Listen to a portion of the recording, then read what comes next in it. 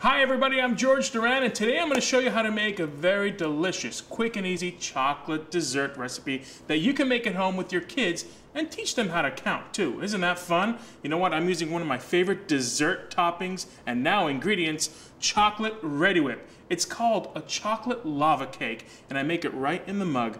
Here's how I do it.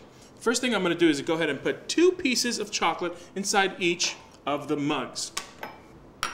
From there, I'm gonna go ahead and make some brownie mix, egg beaters, and the chocolate Reddi-wip. Now, instead of measuring it with a tablespoon, I'm gonna go ahead and count, and this is where your kids can count with you. So, one Reddi-wip, two Reddi-wip, three Reddi-wip, four Reddi-wip, five Reddi-wip.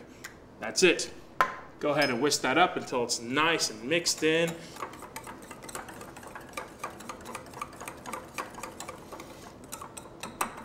Beautiful. You want it nice and chocolatey and velvety, just like that. And then we're gonna go ahead and take our mugs and divide it in half, just like that. And once that's filled up, ah, you're gonna go ahead and take this into the microwave for about a minute. And when it's done, check this out, folks. Oh yeah. You invert the mug, and look what comes out of it.